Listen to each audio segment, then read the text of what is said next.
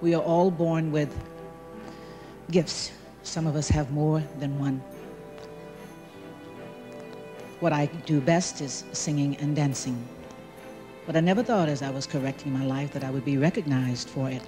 And my achievement is what I achieved after all of that ugly life. How I achieved it is my mind was clear. No drugs, no alcohol.